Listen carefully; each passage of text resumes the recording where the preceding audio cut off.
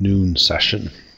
But I've put them up now, and as we get going, I'll I'll refer people back to them probably at the end, um, or maybe just as as we get underway.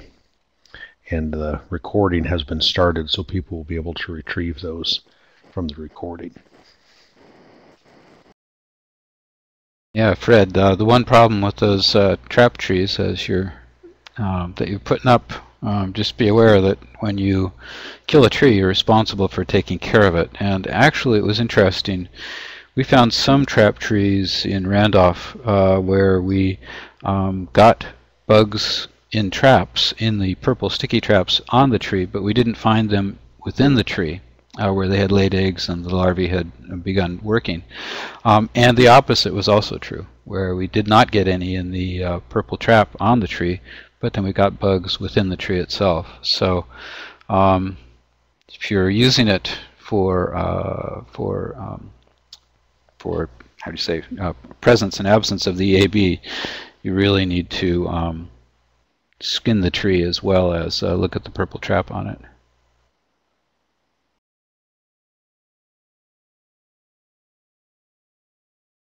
Uh, Tommy, I, I no, you got to kill it. Uh, we tried uh, scoring a tree, taking the bark off half the tree, and it just doesn't work. Uh, you really need to peel off uh, a band of uh, the phloem all the way around the tree and kill it. Um, single girdle. Uh, when you use a single girdle, that usually is a girdle. Um, also, the the one of the things that I try and do when I do girdle a tree, I try and I use a pruning saw and I try not to score the xylem. Uh, if you score this, I don't want to go into the xylem because I want water to be moved up into the foliage to keep it nice and fresh and emitting those wonderful chemicals. But uh, we're getting off topic, Peter. It's already past time. Yes.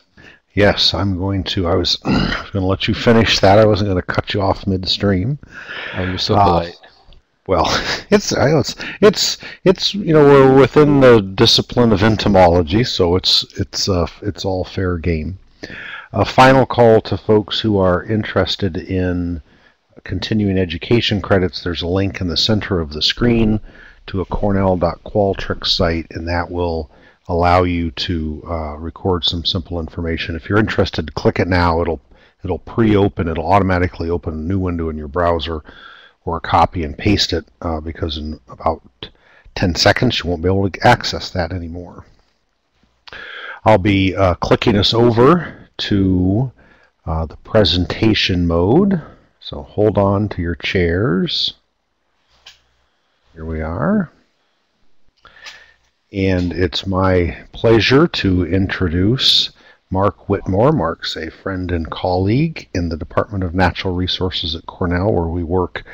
Uh, both of us work through the Cornell Cooperative Extension System primarily, working on a variety of projects. Mark is a multi multi decades entomologist and has been um, has been seeing the corners of the state dealing with emerald ash borer and he and I chatted a couple months ago and said, you know, there's some other bugs that are pesky little critters that we shouldn't lose sight of. And so we thought we'd talk, we wouldn't talk, Mark would talk about hemlock woolly adelgid.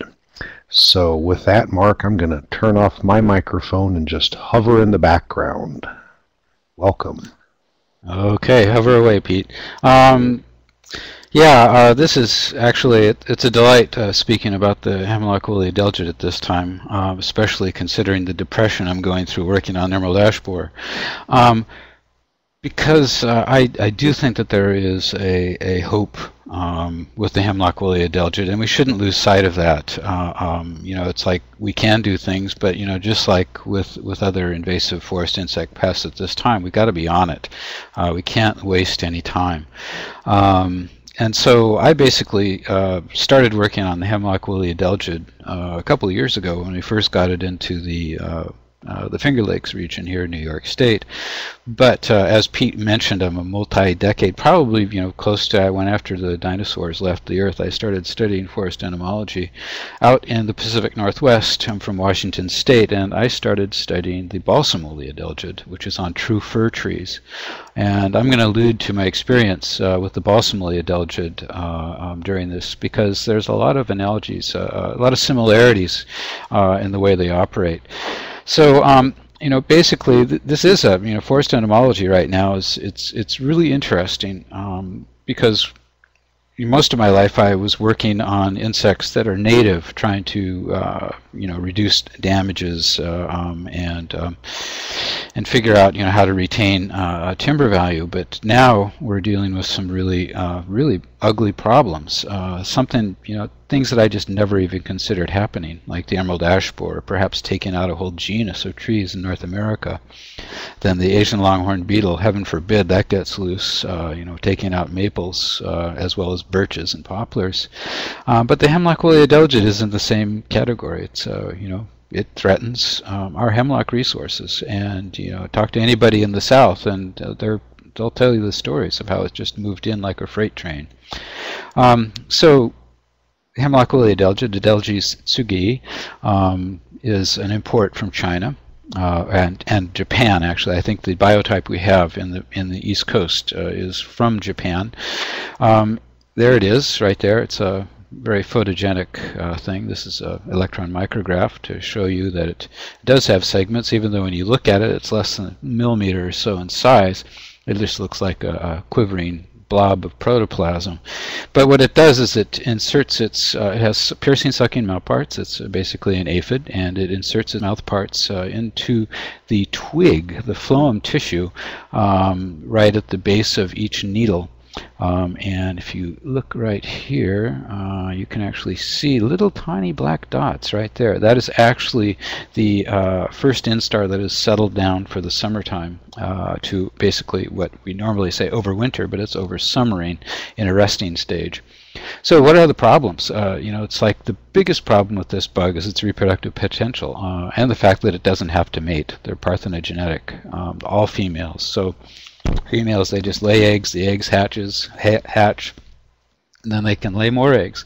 Um, the reproductive potential uh, is is just phenomenal. This is a very conservative estimate with two generations a year and up to 300 eggs per female. Um, just conservatively, you have one female starting times 200 eggs times 100 eggs equals 220,000 potential progeny from one female at the beginning of the season. Um, that's just that's phenomenal even for an insect. We don't have any natural enemies in the eastern United States, uh, and I must say at this time it's very interesting that the adelgids in general they have no parasitoids or little wasps, which a lot of insect uh, have as, as uh, natural enemies. They only have predators. Um, and so far, there's no resistance to uh, uh, the eastern hemlock species, the Carolina hemlock and eastern hemlock at this time. And there are no real uh, area-wide treatments um, that are available uh, e economically and environmentally. Um, and perhaps one of the problems uh, with this, as well as other uh, invasive insects, is that they're very difficult to detect at low population levels. Once you find them, you've already got a well-established population, and you better start working on it fast. Um, so um, the life cycle is actually uh, fascinating. It's one of the most complex uh, in the insect world. There are two hosts two host tree species. Uh, there are hemlocks and there are spruce. Uh, the hemlock is the asexual stage, and um, that's the only stage that we have that's successfully established in North America. The sexual stage, you can see, uh, let me get the pointer up here. Um, the sexual stage is generated uh, here where a winged adult is formed in the Progrediens generation. And that winged adult uh, in its area of nativity, which is uh, um, you know, Japan and China, will actually go off and find a spruce tree and then go through a sexual generation on the spruce tree, and then it'll come back to the uh, hemlock later on as an asexual. So um, here you go. Uh, so let's just start at the beginning here, uh, where you have eggs, say, in the beginning of June. Uh, it just depends on, te on temperature accumulation. The eggs hatch. Um, they turn into the dispersal stage, the first instar crawler. And here, you look over here, there's a, there's a, that's a crawler. Imagine the whole bug uh, here is like a millimeter in size. That crawler is pretty darn small. Um, it's interesting, though, if you look at it under a microscope, those legs really do work, and it's actually quite quick uh, in its movement. Um, I think this is important uh, because birds are implicated as being an important um, mechanism of transport. And imagine a bird landing on a twig. Uh, then that crawler just hops right on the bird's foot. The bird travels off, and what does it do? It lands on another twig. If it's a hemlock uh, and the crawler is lucky enough to get off at that point in time, bingo, uh, you have a, a, new infestation starting. Um, wind is another transportation element. Uh, you can imagine, though, it's pretty random, uh, which you know, might explain the uh, you know the heavy, high reproductive potential.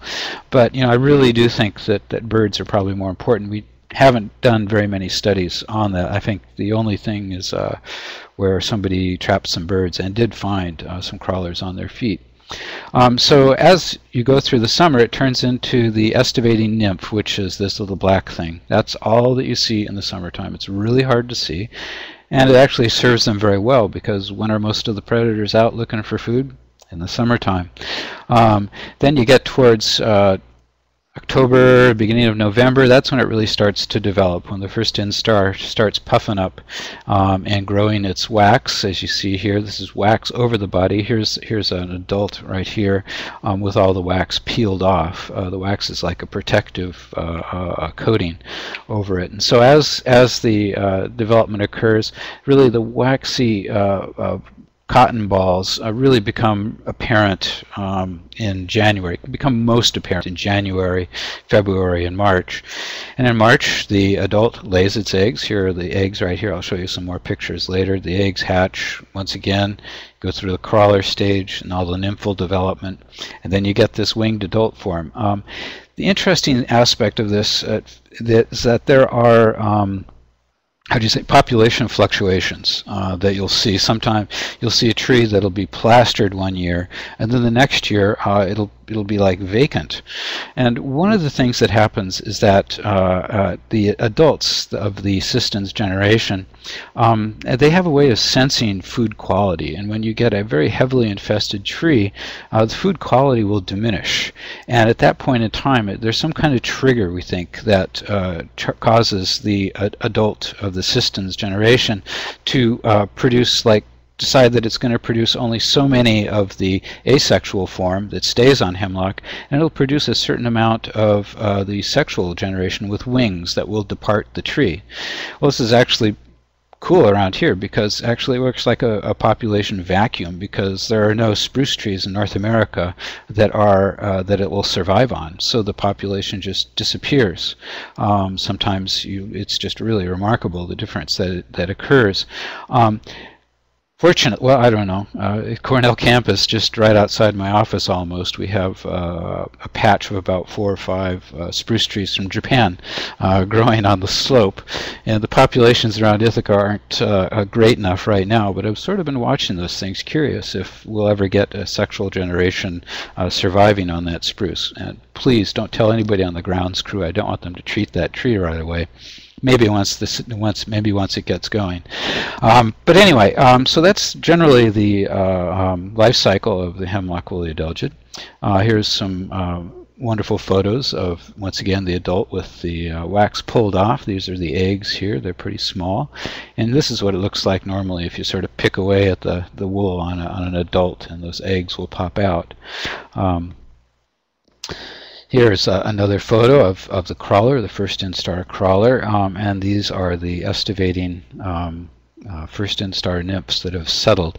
Once the first instar settles and inserts its stylets uh, into the bark, or into the xylem tissue actually is where it feeds, um, it doesn't move from that point on. It stays in place uh, throughout its lifetime until it dies. Um, so uh, what is the impact on the trees? Okay, first of all, uh, as I mentioned, it inserts its stylets or, or, sucking mouthparts at the base of the needles and feeds on the xylem ray parenchyma cells.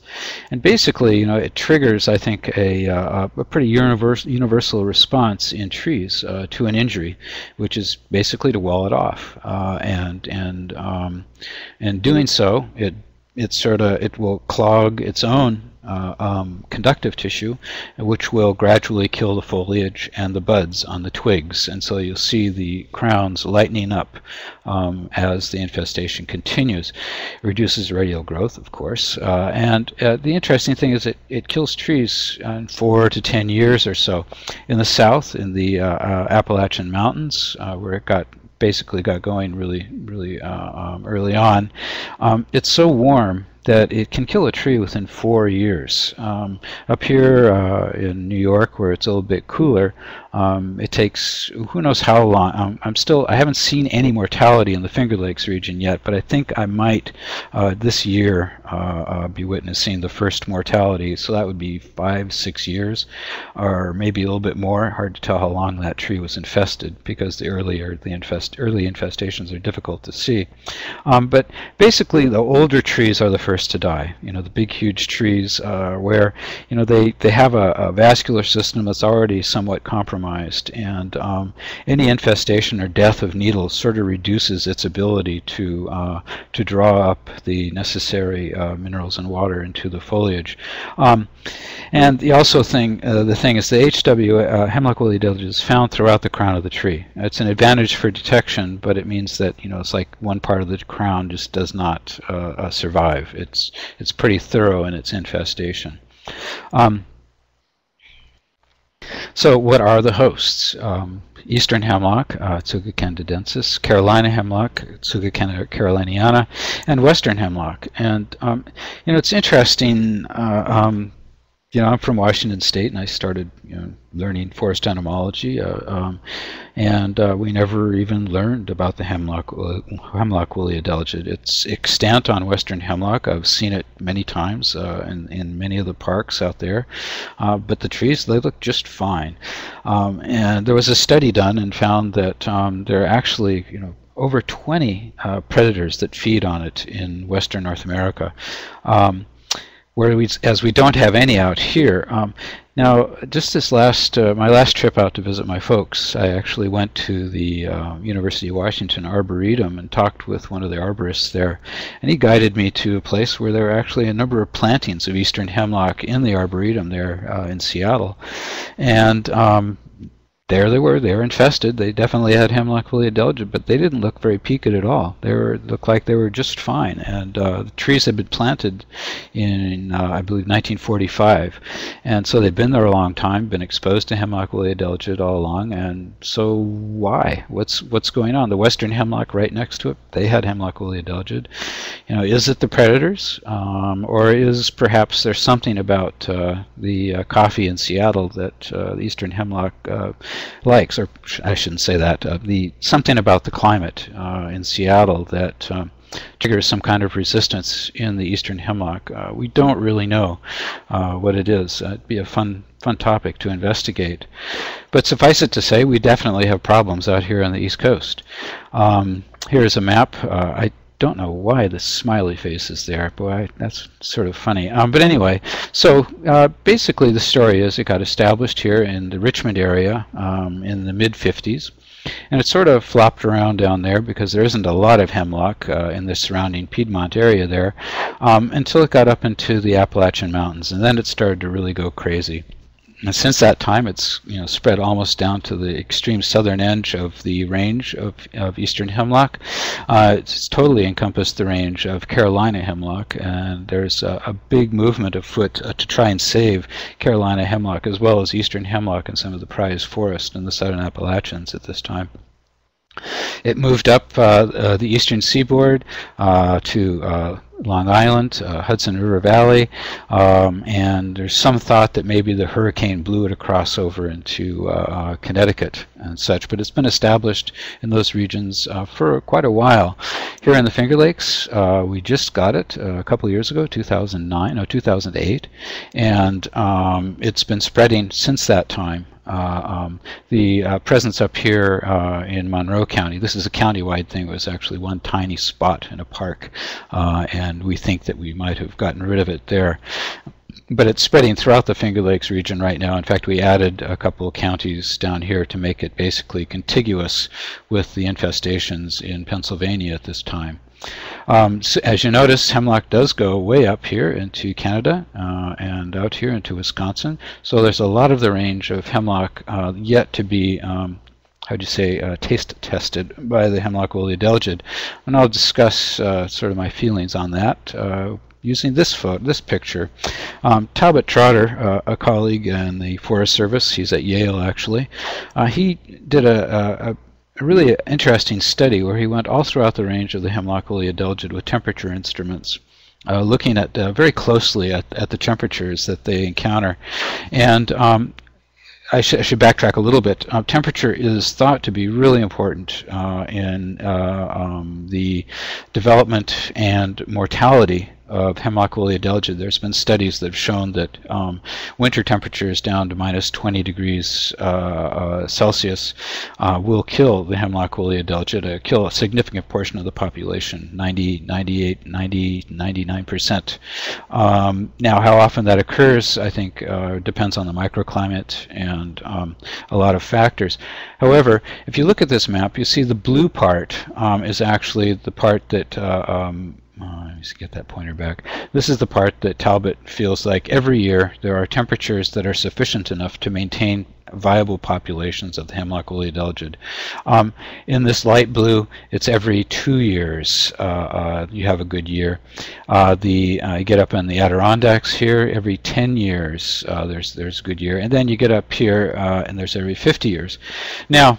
Um, the interesting thing, uh, I'm bringing up the uh, the balsam woolly adelgid at this time. Um, when I first studied, started studying uh, uh, bugs, actually it was the balsam woolly adelgid that, that got me interested in the bugs because it was killing my favorite stand of true firs on the slopes of one of the volcanoes in Washington State. And it was really interesting because it was on a lava flow, and then as soon as you got into more mesic soils, it stopped. There was no infestation at all, and I thought that was pretty cool. And then I started thinking about bugs and movement and all those other interesting things they did. So I, I quickly turned from a, a forester and botanist into a forest entomologist. I just I think it's just really really interesting. But anyway, at that time I tried to get money to work on the balsam woolly adelgid, and um, I was told that uh, the balsam woolly adelgid was not a problem. Uh, that it uh, is is killed by cold temperatures, and it was not going to move off of the uh, uh, out of the maritime provinces uh, where it was held pretty close to the um, coastline in New Brunswick, uh, Nova Scotia, and such, and that it wouldn't move over the Cascade Crest uh, uh, in Washington State. And at the time, I was looking around and I was seeing it move. Um, and now, uh, 30 years later, um, it has definitely moved uh, into the Cascade Mountains, into the east side of the Cascades, where it's much significantly colder. And indeed, I was just vacationing in the uh, Mount Washington area, and I found balsam woolly adelgid on balsam fir very close to the upper part of the summit, and everybody knows uh, probably how cold it is up on Mount Washington. I'm also finding it in the Adirondacks. I was finding it in the Adirondacks actually in the in the 80s. So what does that say? To me, it says that there is an adelgid out there that reacted at first when it was introduced into the United States uh, in a manner similar to what we're seeing with the hemlock woolly adelgid, where it is sensitive to temperatures, and people we feel that it is limiting the population growth. Um, but that changed. And so my question is, uh, will that happen with the hemlock woolly adelgid? Um, and I don't really know. Uh, it'd be, uh, I think it's a really important question to investigate, and perhaps we have the tools now to, to look at that, the genetic tools, um, um, and, and answer that question. But be that as it may, uh, what we have right now is this map, and I think it's a, an excellent piece of work by Talbot. Um, Another way to think about uh, where you are in relationship to the hemlock woolly adelgid is to look at temperature data, and I have to uh, thank my friends at the uh, Northeast Regional Climate Center here at Cornell um, uh, for developing these series of maps. And I was thinking about it when I first when we first got it in the Finger Lakes. I was thinking, okay, we're, we're pretty cold. We uh, we you know we get those nice cold winds down from Canada in the winter time. Um, and then I started looking at it more carefully, and actually, after riding the lifts, talking to my uh, my friend uh, Art DeGaetano at the Northeast Regional Climate Center, and he said, "No, no, no, you, we're in a banana belt." And, and sure enough, he's right. If you look at the degree day accumulation here, here you have Finger Lakes region, and then look right down here in the Delaware Water Gap. There's a lot of trees dying right now in the Delaware Water Gap. Uh, it's very similar, and so it's like I'm no longer have that that confidence that we have time in the Finger Lakes. And indeed, I've watched pop major population expansions and, uh, and as I mentioned, perhaps uh, mortality occurring. Here's another way to look at it. Look at the low temperatures, uh, 2001 to 2010, mean annual low temperature. And once again, you can see here in the Finger Lakes, we're actually quite mesic uh, in very, very close comparison to many areas where the hemlock woolly adelgid has been very successfully established and has caused a lot of mortality. Um, contrary to that, uh, my friend uh, uh, um, uh, Joe Elkinton at uh, University of Massachusetts in Amherst, he says, well, Mark, you know, where it's cold, you know, they just don't kill the trees. And I, am sort of wondering about that. He says, I've been watching a tree that's been infested for 17 years. Um, it's still alive. And Joe Elkinton is right up here. Amherst, I guess, is, yeah, right up in there. So it's pretty cold. The question is, in my mind still, will it, will it change? Will it adapt to those cold temperatures? And here's another way to look at the lowest temperature during the decade. So as you can see, it's, it's rather interesting. There's another, there's a corridor of warm, uh, uh, uh, of, of, of, warm weather through this area. I didn't realize existed before. Um, but anyway, um, so will cold temperatures be effective? Uh, um, it's like not in the Finger Lakes. Um, and indeed, you know, to control the uh, uh, hemlock woolly adelgid, um, with such an incredible reproductive potential, you basically, to maintain a static population, you have to kill like 98% of all the bugs that are generated every year. Um, yeah, I, I was wondering about the Susquehanna River and, and its tributaries. I just, uh, one thing I do know from my uh, uh, from from my friend Art DeGaetano at the Northeast Regional Climate Center is that there's usually an awful lot of things operational uh, in creating uh, the weather patterns. Like you know, the Ontario Plain, you see it's actually quite warm, but actually the Ontario Plain this early in the season was one of the coldest areas uh, in the region. It was actually much warmer in the Finger Lakes area, and that's because the uh, Ontario Plain temperatures were actually kept low by the uh, Lake Ontario. Um, but anyway, so here it is in the Finger Lakes. Uh, we get uh, all these. When we first got it, um, it was found established at a couple locations, uh, and um, let me see, uh, Watkins Glen, and up around here, uh, and on Cayuga Lake. Um, it's quickly expanded. That was 2008. We figured the populations had been established for at least a few years, um, but we quickly, it was interesting, very, very interesting. Um, in 2009, it was established on the Cornell plantations uh, in the Cornell campus, and that was really a godsend to us because um, it basically got Cornell uh, uh, uh um, uh, personnel involved in the issue, and Cornell owns a lot of property in the area where they manage natural areas, and so they're very concerned because they have some prize stands of hemlock in the gorges surrounding the area, and so we initiated an effort to recruit volunteers to go out and look and look around and see what's going on. And so we got a really good idea of what happened in, in the uh, Ithaca area, at least, as well as on uh, uh, Seneca Lake. There are lots of volunteers around the Seneca Lake.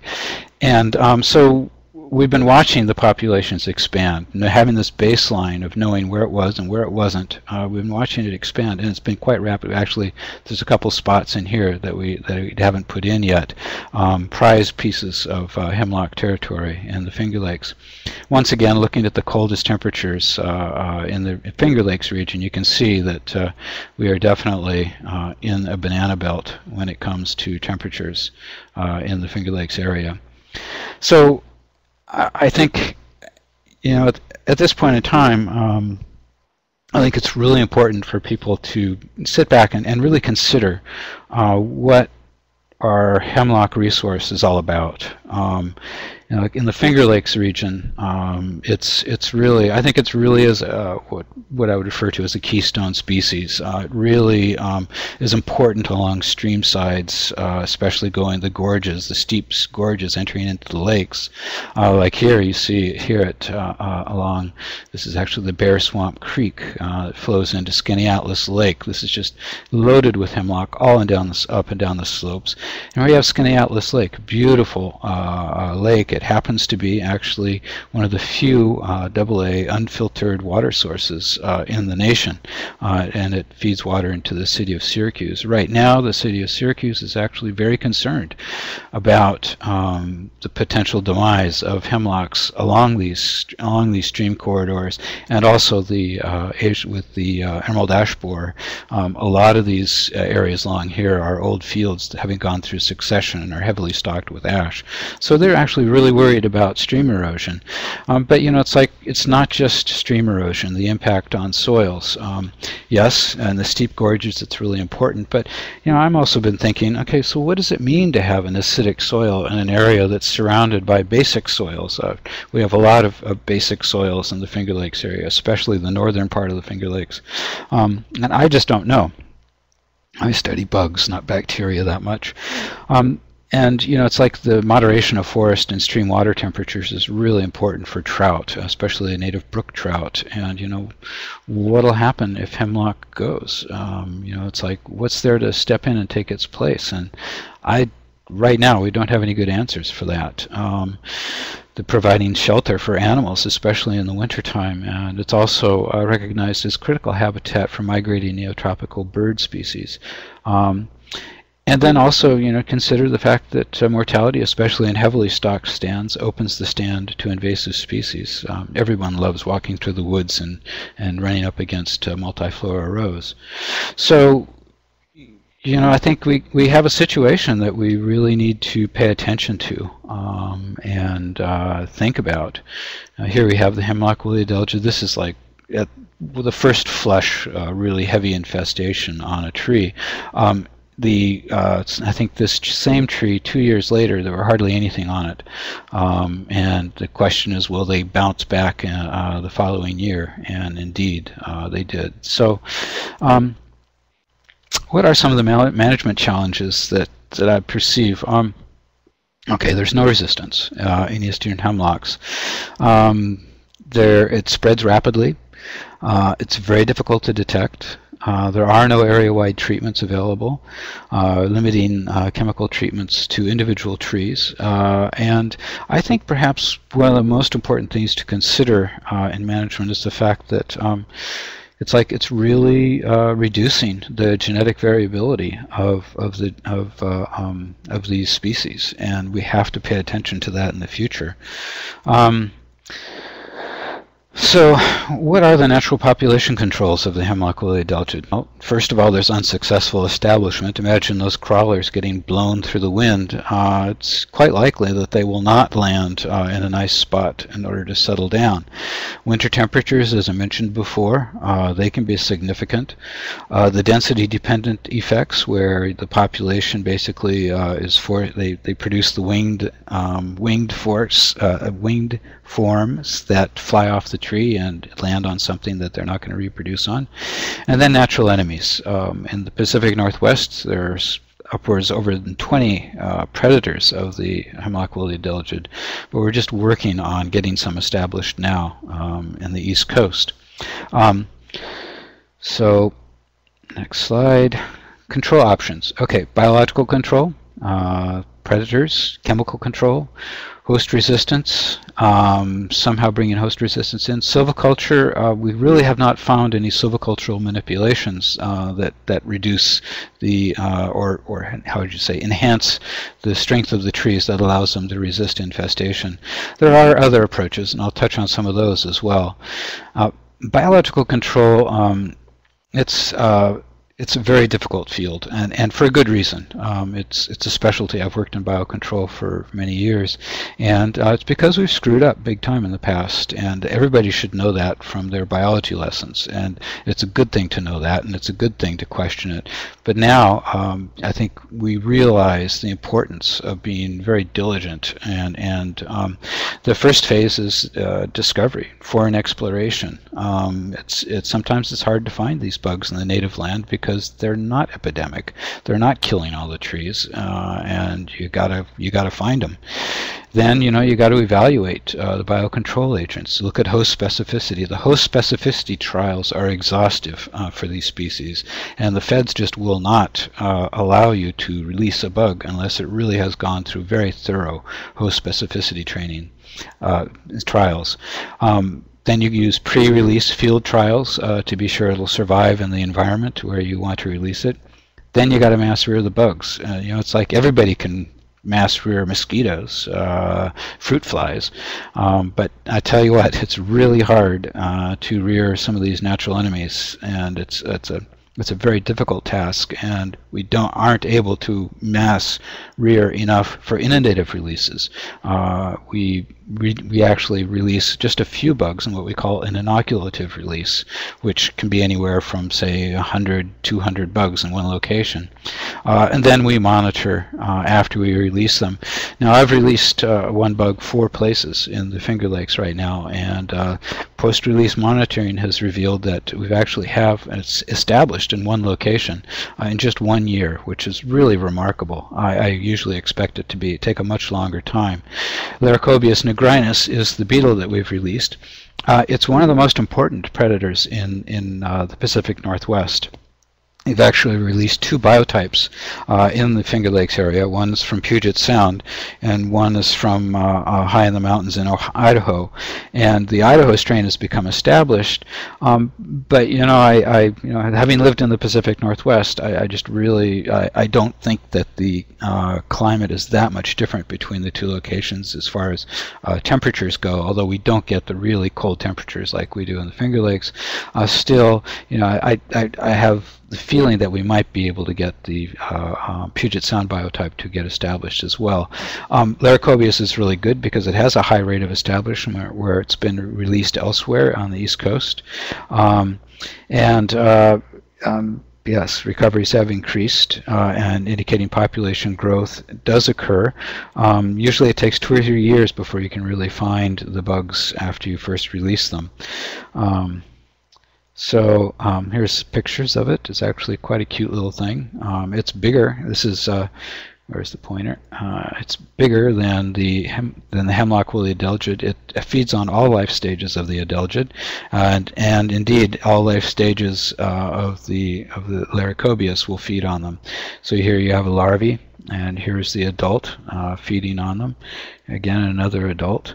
Um, not the biggest bug in the world. It's it's instead of being one millimeter like the hemlock woolly adelgid, it's probably closer to three millimeters long. So uh, it's searching for it, it can be tricky at times. Uh, here's another picture of it um, on on a twig. Um, so chemical control, I think, is something that we really need to consider while we're uh, waiting and, and working hard on biological control. Um, chemical control, we're very fortunate, uh, um, and chemical control actually is quite efficacious. Um, area-wide treatments don't exist. It's a tree-by-tree -tree thing. Um, foliar sprays, uh, stem injections, and soil injections uh, all work. The professional use chemicals, those registered in New York State, and I must say that I'm not familiar with the chemicals uh, registered in other states. I know dinotefuran is, is registered in a number of states. It wasn't registered in New York until earlier this year. Um, and um, it's really important. Um, it's it's called uh, it's registered under a special local needs uh, registration because it is very um, water soluble, um, and uh, the uh, time the authorities um, in New York State were reticent to register it because of that water solubility. But I made the point uh, that it's really important uh, in protecting very large old growth trees. Um, the uh, the problem with old growth trees is, you know, especially if they've been infested for a year or two, is that they their ability to translocate the uh, pesticide up into the crown is is uh, uh, hampered. And um, imidacloprid, the other chemical here, uh, it's actually it's very effective. Uh, it's efficacious for up to seven years. Um, there's various formulations, but imidacloprid moves very slowly uh, up up the up the stem of the tree. Uh, imidacloprid binds. It likes to bind to carbohydrates, um, and so it'll move. It'll take maybe a year for imidacloprid to move into the crown of a tree. Well, in an old growth tree, um, it might not have that time. Uh, the crown might uh, degenerate such that it won't be able to get the imidacloprid up. And for a long time, they were losing uh, large hemlocks, uh, um, especially in the um, uh, southern Appalachians. Uh, and then they then they tried using the dinotefuran safari spray as a basal trunk spray, where you basically spray it with a surfactant. I'm not sure if you need the surfactant or not, but with the surfactant on the the lower 10 or 15 feet of the tree that gets taken up immediately um, and transported up into the crown, and then you make an application of imidacloprid and last 10 years, up to, up to seven years. And I think that's a phenomenal uh, um, uh, efficacy, and I think it gives us a valuable tool to try and preserve uh, some of the hemlocks that we have, some of our forest.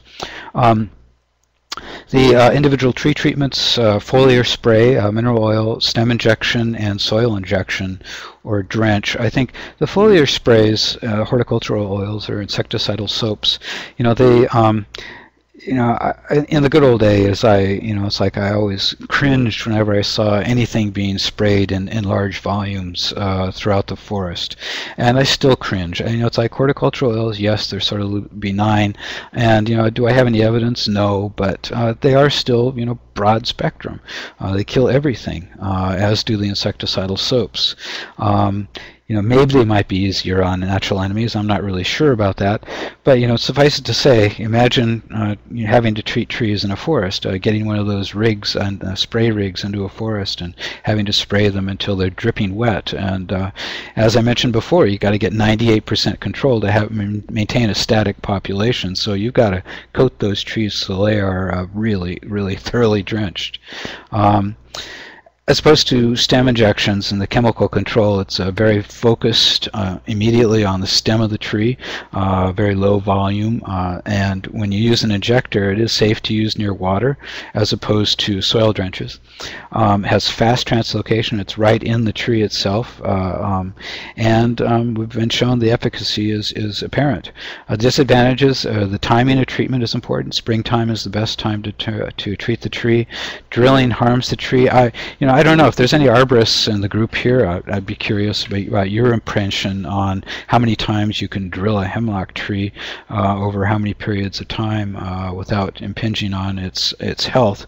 I think it's even more important when talking about ash trees and the emerald ash borer, where you have to uh, inject the tree every two, maybe three years at most. Um, one of the problems with uh, chemical with a, uh, the injection also is that it's it's very effective in young vigorously growing trees, but not really in the big trees uh, because the imidacloprid moves so slowly. Um, and it gets uneven distribution in the crown. It, uh, there's an effect that we call a candy striping, especially with imidacloprid. It doesn't like it, it adheres to the uh, carbohydrates and it moves straight up and down the tree, but it doesn't move laterally very easily. And so you'll get like candy stripes moving up the up the trunk of the tree, and the branches that intercept it will be treated, and others may not. Um, the soil injection or soil drench, uh, you don't get the candy striping. Uh, again, it's a low volume. Um, ease of application is definitely there. No complicated equipment, just a, a mixing jar, and you uh, scrape the uh, organic material away from the base of the tree um, because remember it likes to adhere to carbohydrates, and you just pour it on, and the tree takes it up, and it takes it up very evenly. No candy striping, and amazingly, seven years of control. Actually, what happens is the uh, the chemical imidacloprid uh, gets up in the tree. It, the imidacloprid doesn't last uh, for seven years, but actually it changes uh, in the chemistry of the hemlock into an olefin, and the olefin is actually uh, it's a class of chemicals that is actually far more toxic to the hemlock woolly adelgid than is the original imidacloprid.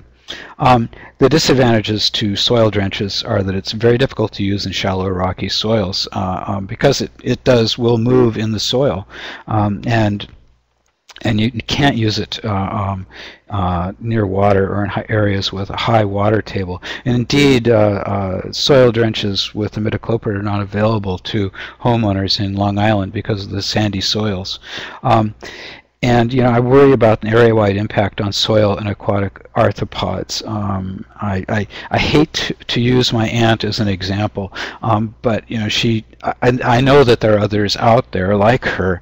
Um, my, my, recently departed aunt was a, a, great influence in my life in many ways, and uh, she definitely influenced uh, my uh, observation of her pest control techniques, which were um, uh, basically, if a little bit works, a lot will work a lot better. And um, when you go to, you know, it's like how many people that buy this stuff they say oh this will protect my tea great. You know I'll, I'll get it and I'll mix it up and I'll put it on my trees. And they don't look at the label saying that you know there are you can only put so many uh, uh, grams of active ingredient per uh, acre per year.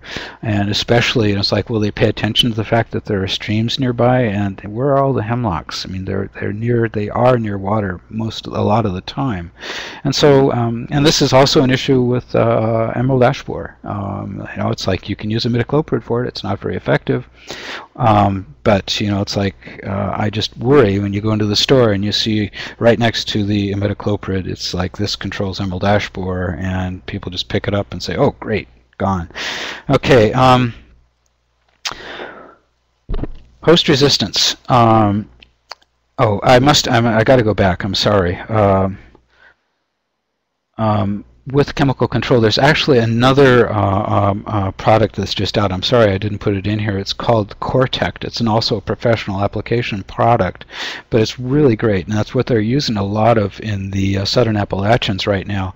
And it actually it's a, a pelletized formulation that is a time release. It releases the chemical over a two-year period of time, so you can actually apply treat twice as many trees as you can with a soil drench uh, at one application period.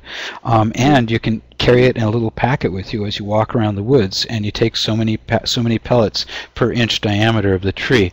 I think it's it's a really it's a, a, a very good tool and it's being used uh, uh, extensively right now in the Appalachian Mountains where they're trying to save maybe 5% of all the hemlocks. Um, so host resistance, uh, people have been looking at it. It's been the holy grail. Uh, if we could ever find host resistance mechanisms and incorporate it, incorporate it genetically into the trees, we're still working on that. Uh, the hybrids, the got one between uh, Tsuga caroliniana and Tsuga chinensis, um, and they are resistant. I think we need to test these uh, resistant um, uh, trees for a while. Still unable to hybridize uh, Tsuga canadensis.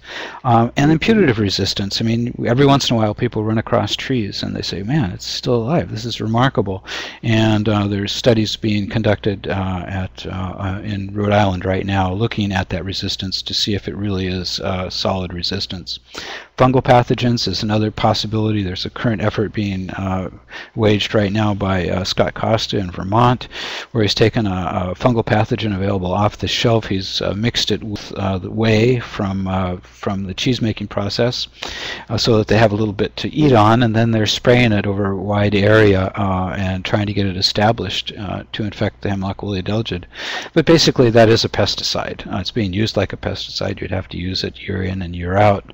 Um, um, but it is an area-wide treatment. But also, you know, I got to say, it's it's also broad spectrum. Uh, it'll kill everything. Um, yes, thank you, Pete. Uh, Read and follow the label. You're absolutely correct. And there's another potential vulnerability with symbiotic working microorganisms in the guts, um, but uh, I'm not really familiar with that work to this point in time. So what can we do? We need to slow the spread. I think it's really important, uh, if at all possible, but how do we do that? Uh, you know, it's not like the emerald ash borer where it's firewood. You know, don't move your firewood and that kind of thing. Um, really, this thing is is spreading uh, at its own rate. Um, but I think the most important thing is we need to uh, perhaps uh, prioritize our actions, our management actions. And one of the most important, I think, is to focus on genetic resources. Um, when I look at, uh, from my forest health perspective, when I do, when I look at an old tree in the forest, you know, a really healthy, beautiful old tree, I think, man, that is really an amazing uh, resource because it represents basically um, it's a genetic encyclopedia of everything that has worked at that particular site. It's seen assaults from who knows what angles for you know up hundreds of years perhaps, and it's still survived. And that to me is very valuable. Um, and I think that we need to prioritize, look, keeping that in mind, that it's important that uh, we conserve our genetic resources because, you know, also, uh, uh, I think throughout my career, uh, I've really come to believe that, um, you know, the genes, even though people say, oh, they look exactly the same, uh, I do think that there are subtle differences in the genetics of trees over maybe even, maybe not even long distances, you know, a few miles, maybe 10 miles or so, but for the future, for the future of the species, to conserve our options, I think we need to pay attention to conserving as much of the genetic resources as possible at this time. Uh, we need to detect it quickly, be able to react, survey all the time, and then have treatments in mind. Um, detection, early detection is critical, yes. I mean, that's a no-brainer. Um, identify and train staff. Now that's we've had great luck with that. Uh, it's easy to see. You see those those white dots under the tree. Uh, I mean uh, on the twigs, and they're very easy to see. A lot of people just have no problem no noticing that.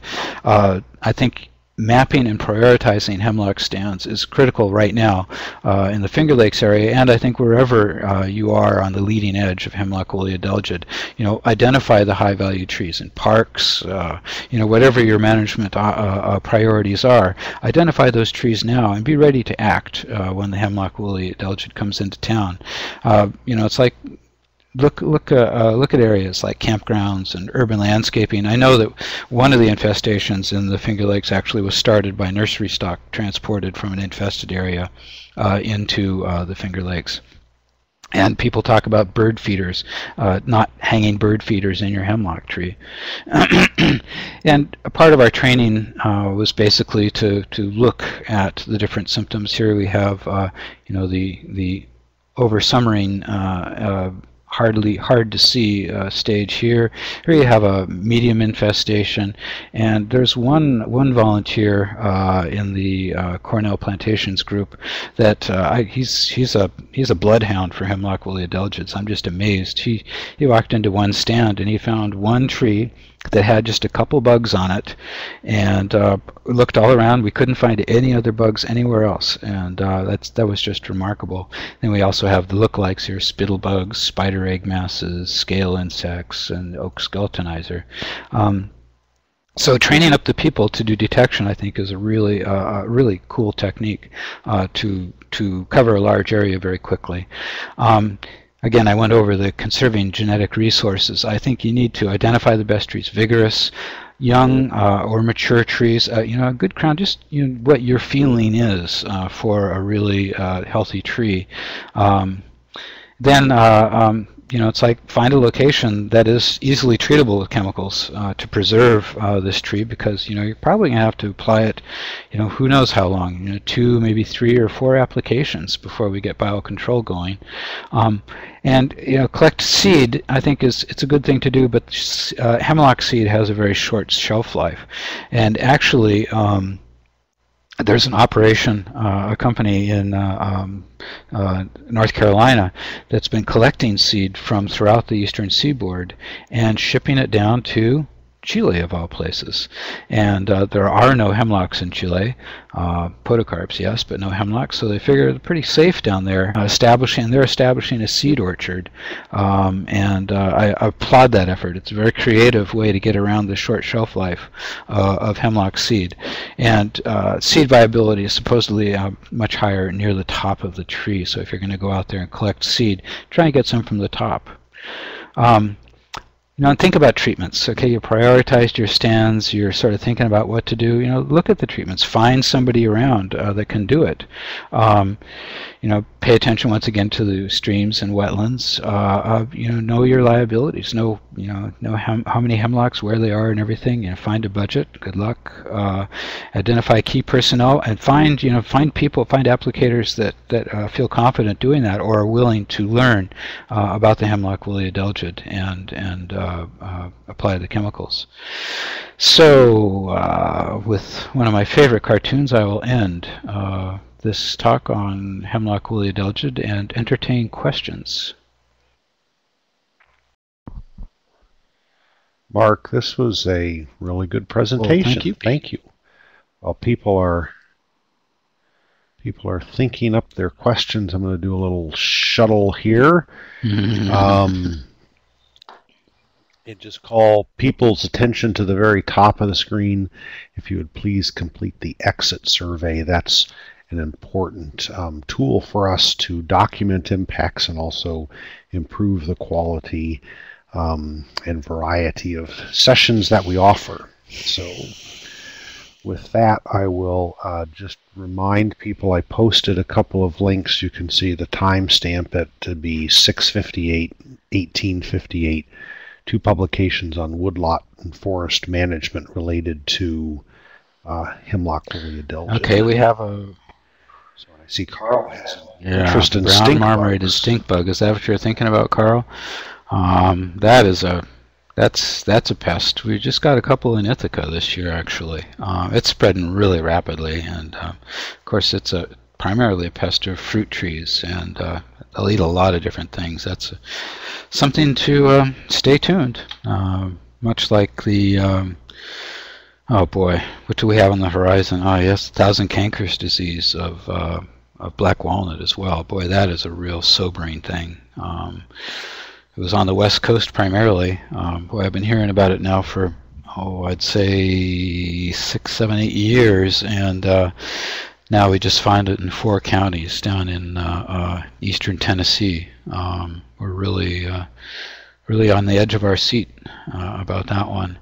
Briefly mentioned silvicultural options for controlling HWA spread. Could I explain this in further detail? You know, the best thing to do is to look at uh, uh um, uh, David Orwig's uh, um, uh, publications. Uh, he, he's done a lot of work. He's a silviculturist, works in Harvard Forest. Um, basically, um, you know, it's like if you have contiguous forest, you're going to get more rapid spread throughout the stand than if you have a, a, a stand that's uh, uh less densely stocked. Um, and they've tried to do cuts to release the crowns so that they become more healthy, but that still does not seem to increase the resistance to hemlock woolly adelgid. So there's there's still it seems a lot unknown about hemlock woolly adelgid in terms of um, how the insect spreads and how it selects you know one tree over another, things like that. Is that accurate, or I mean, what's well? Do you have a sense of where is there a lot of research being done, or is is you know, are the other kind of big pests getting well there you, you hit the, nail on the head with that. Yeah you know the big the big bugs are sapping the the uh, the, the, bug funding um, per se. Um, there's a lot that needs to be done. And I mentioned you know the the pop the ability of the populations to mutate and change is important. Also realize the, the hemlock woolly adelgid does not select its trees. Uh, it is it is uh, a passive in its dispersal. And if it successfully establishes at a location that's great otherwise you know it's like it doesn't work. Um, and Bob, yeah, uh, so HWA sometimes starts 50 feet up in the tree where it's not easy to find. That is correct. Um, but the populations grow so rapidly that, that sooner or later, and very rapidly, they uh, you'll find them on the lower branches. And so really in detection surveys, uh, the, all you need to do is lower branches. I think it's really important um, to search a wider area rather than a small area very intensely. Uh, and that's one of the reasons we've been successful with our volunteer crews uh, in the Ithaca area is that uh, they can just walk through a stand and, and pretty much do a 100% sample um, through these gorges uh, pretty rapidly.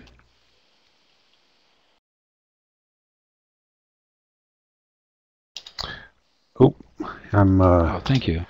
Just. Oh, that's not the. No, I. wrong one. wrong one. I gotta click copy. Here we go coming at you again. Yeah. That's better. So here's, um, I just posted under the cornell.edu, this is Mark's fact sheet on hemlock woolly adelgid for people who are uh, have woodlots and want to try and do some things to keep track of it. I know that there are several of you who are kind of in the in the target of uh, where uh, hemlock woolly adelgid is or is soon to be moving or thought to be moving, and this is a, a nice way to gain some insights into how to uh, try and find those pests. Yeah, I think start your control. The, the sooner you can detect it in your area and and watch it spread, the the better off you'll be, and you'll be able to hopefully uh, develop and implement management strategies uh, rapidly. Um, will eventually kill the eventually Are there any southern efforts? range of eastern hemlock. Yeah, uh, Tommy, I, I do. Um, and indeed, I mean, it's like uh, if you go into the southern Appalachians, it's in some places where they have not been treating the trees. It's just, it's, it's, it's very sobering. Um, and indeed, you know, it's like uh, I've been discussing actually with a number of people, including Pete today. It's like, you know, even though I've been doing this a long time, it's still I just I just don't get it. Uh, it just doesn't make an impact until I see dead trees. Then all of a sudden, the gravity of the situation just just hits you like a ton of bricks. And uh, I was just walking the proper property with a landowner up here in Monroe County, uh, emerald ash borer infestation I knew he had the infestation. We talked about it all winter long, and then just uh, last week, we uh, just after leaf out, we went walking down into there, and and um, he just his jaw hit the floor, and he said, "Man, I had no idea." And you know, it's that old Joni Mitchell song, "You don't know what you got till it's gone." Um, it's it's really true. Uh, it's just it's um, heck, you know, I think about it all the time, and uh, but that's a really important motivational Is force any... to get you to do something. Um, and so, anyway, go ahead, Pete. Sorry. Is there? I'm just curious. Is there any effort to try and look at reestablishing some other shade tolerant, deer resistant conifers in areas where um, hemlock had been? I mean, you, you've talked about kind of the ecosystem role that hemlock plays, and although a different species would probably behave differently, I'm, I'm thinking about something like red spruce and uh, Norway spruce is not native, but um, so any are there any of those efforts? Oh, you know, people underway? have talked about establishing Norway spruce in sites. Uh, I, you know, and, and, red spruce, a native uh, bug. Uh, interestingly enough, there's a, a cerambycid beetle that was been uh, uh, introduced in. Um, um, into Nova Scotia, and it's moving its way through the native spruce forest right now. Um, you know, it's like I, I right now I'd prefer to try and work on hemlock, and and I just uh, I don't want to write it off. Um, let me see. What else do we have here? Do you think the HWA, oh, okay, given the HWA population seem to be becoming more cold tolerant, what do you think the prognosis is for northern New England? Uh, backtrack on that. I am hypothesizing that they could become more tolerant cold tolerant. Um, I don't really know that they have, uh, and you know, it's going to take time and research to really see if that happens. My gut feeling is that it could. How long it'll take, I don't really know. Um, for northern New England, I don't know. uh, you know, it's like I'd just be wildly guessing to, to say anything that other than I don't know. Um, are there any maps or info on the years of HWA spread across New York State, uh, like when they arrived in the Catskills or the current front of the infestation? You know, I've been thinking about that, um, but um, you know, to be very honest, uh, uh, uh there's a lot of resources uh, that could produce such a map, but we're all working on Emerald Ash Borer right now. Um, I really want to uh, work more on hemlock woolly adelgid. I think it's a really important time, um, and hopefully we'll we'll be able to get that uh, together. Um, it's interesting to watch the spread, um, and uh, you know it has been moving into the Catskills. I've watched it in the past 10 years come up out of the Hudson River Valley and start to really get going in, in some of the higher parts of the Catskills.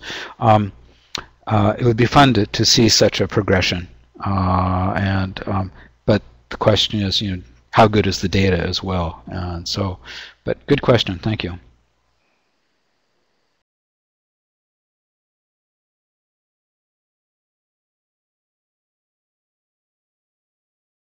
Well, Mark, it looks like we've uh, covered all the questions. This was a once again a great presentation. I am always appreciative of speakers who are willing to give the same presentation twice in the same day. That's a can be a mentally taxing effort, particularly at the end of the day. But you, like always, you do a, a great job at the at the uh, first and the second go arounds. So I appreciate that.